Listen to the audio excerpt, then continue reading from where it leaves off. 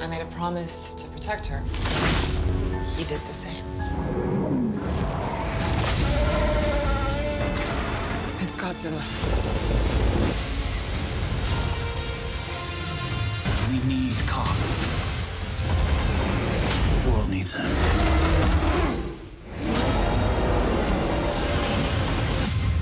In theaters and on HBO Max, March 31st, rated PG 13.